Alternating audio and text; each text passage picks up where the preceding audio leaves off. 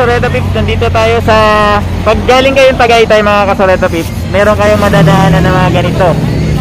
Mga pwesto, mga bilihan ng prutas. Kung pamilya kayo sa kulit, kulit yan, may mga ganyan, maraming ganyan, kulit na mga pwesto yan sa gilid ng ano, kalsada.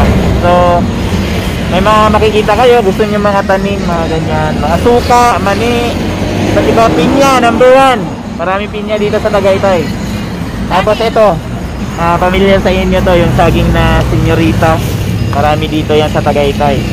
Tapos langka, syempre, saka yung suka. Yan. Marami dito yan. Okay? So, ganun ang ano, ginagawa namin kapag ka galing tayong Tagaytay. Ha?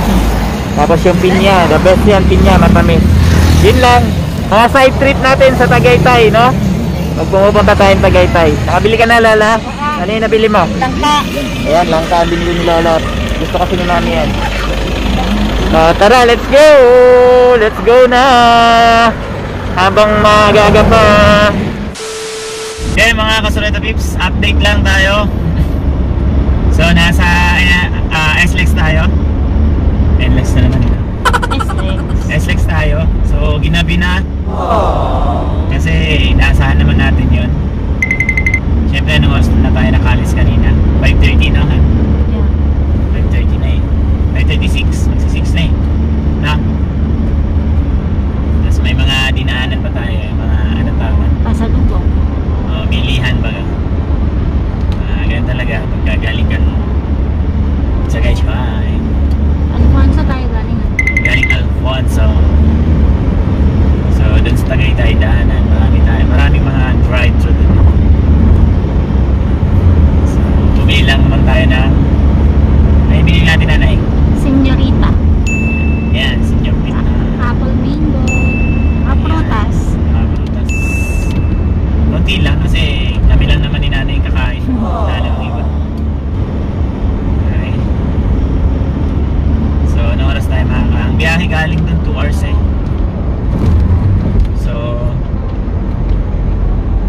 bali 50 minutes na lang.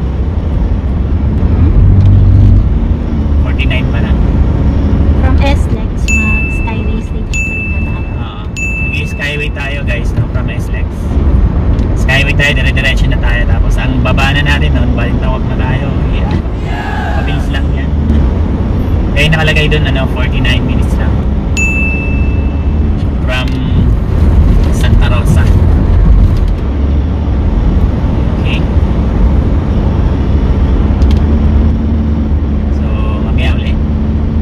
Yan, magbibidyohan na ni nanay uli ng ano buo, ang Skyway. Buong buo. Habang tulog ang kami. Ah, habang tulog. Kita ba nanay sa ano? Sa video mo? Ay sa camera? Ang alin? Yung daan? Oh! Kita naman. Okay. So, San Pedro na tayo guys. San Pedro. Ah, ano na tayo? San Pedro, Susana Heights. Papuntaan Alabang na. Alabang. Borlog na. Borlog number one. Ito na yung ano ni Mami. ni- Borlog number three. Na, Ito na yung kanyang RFID. Yep. So sa mga pupunta ng Skyway guys, mga kasaleta tips, kailangan yung pumesto sa kaliwa. Kasi baka hindi kayo makapasok. Baka tulad nung dati na nakaraan meron palang bantay. So hindi na kami nakasit so bandang kaliwa kayo. Skyway. Pero ang ang pwede ay sa bagay wala nang hindi RFID ngayon no? Keep left to Skyway karamihan Ski Ramp behind by RFID Naomi. na so kakaliwa guys kakaliwa tayo para diretso na ng Skyway kasi di pa tapos yung ginagawa eh sarang tayo na dahil sarang Tawag mo na sa mami ma- nanay Okay. Ito na. mukhang nasa likod natin sila Skyway and... di ba Hmm?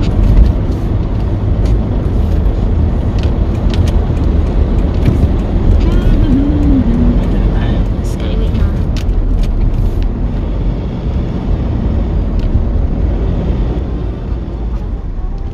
So yan guys, ah, update tayo. Ah, dito tayo sa Skyway na, galing Alabang. So, tingnan natin kung gaano katagal ang biyahe. no? Ano ba nakalagay? 37 37 minutes lang. Hanggang bahay na yun. Bilis lang guys. Kalain mo yan, no? Galing Alabang. Skyway, yun yung sabi ha. Pero depende pa siguro sa takbo. Medyo mabilis-bilis na. O mga 35 minutes.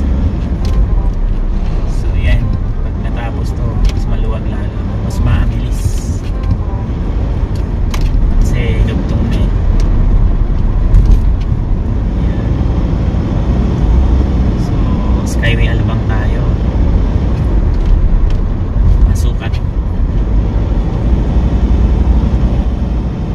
One lane lang siya kasi ginagawa pa siya guys. Kasalukuyan ginagawa pa yung ramp. Okay? So, may toll. Lahat naman nakita na. RFID. So, kahit saan tayo na kahit saan. Mhm. Kaya, to 100. Oh. 221 yung nabawas. 221 guys, no? Mahal lang to.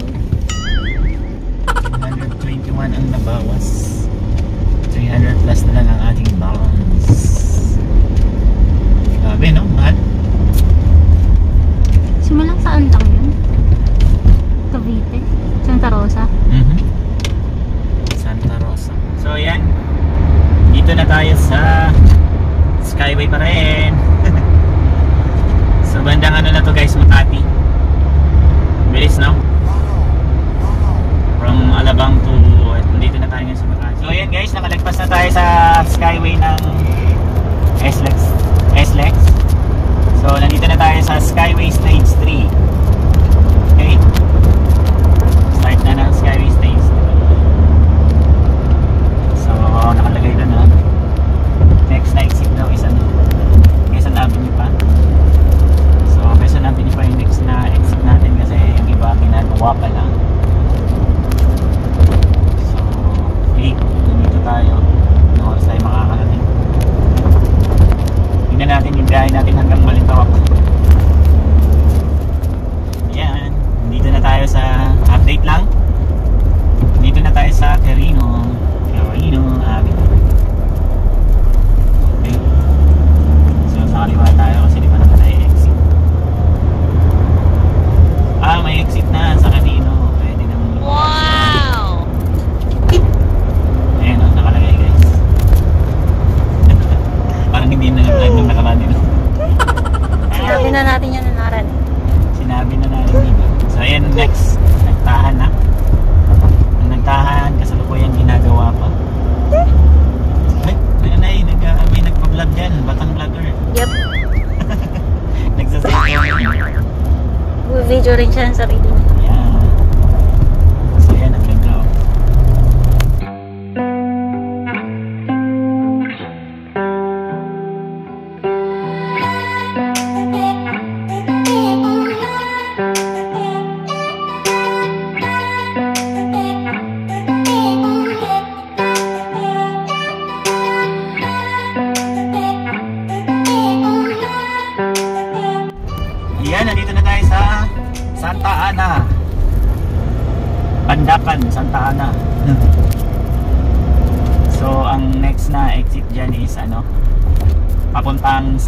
Mesa kaso hindi pa gawa, hindi pa tapos.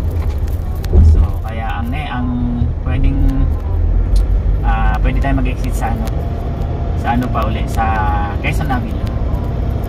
Kasi yung sa E-Road ata hindi pa pa hindi pa tabi, hindi pa passable na. Yan.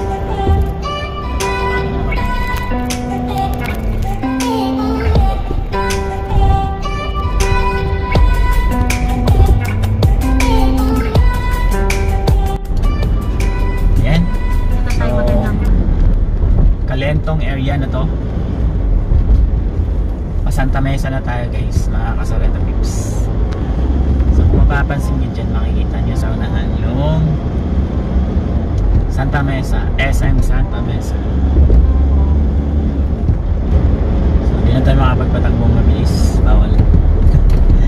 Hindi, mabagal din yun nasa harapan. Tayo makaano. Tama lang, 60-60 lang na. Hindi pa daw pwede yung city. Yan, Santa Mesa na. Ano na yung mga ilaw, no? Halos, ano? Punta ng Aurora. Santa Mesa guys, yun yung sa Aurora Boulevard.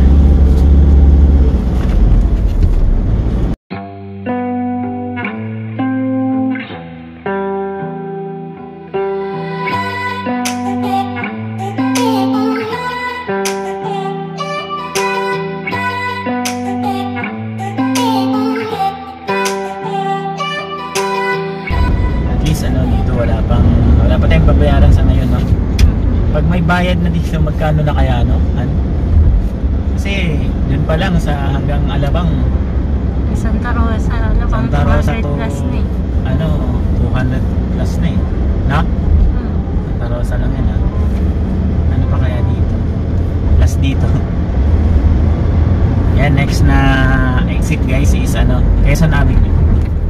Yan, Quezon Avenue yan dyan. Exit. Meron namang nakalagay. Yan, hindi kayo maliligaw. Wow. So, check natin. Tanungin mo nga kung anong toll dito. Anuhan? South. South daw, sabi. Hmm. Sir, pwede mong tanong, anong toll kaya dito? Yung sweet pa rin? Auto sweep po. Auto sweet pa rin. Pag pupunta nyo, doon nila magagamit yung pang-index. Ah, okay. Thank you. Hanggang dito nga. Tama. So, auto sweep pa rin. Pag lagpas mo dito sa toll nila, yun na yung sa Easy Trip. Yung north.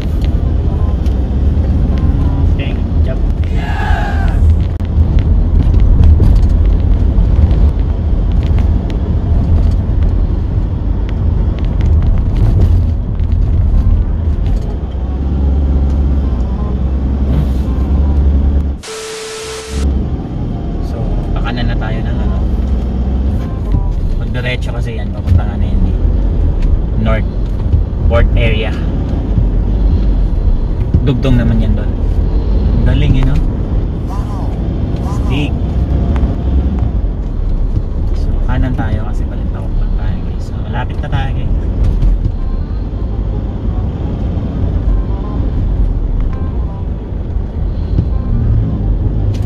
Parang may.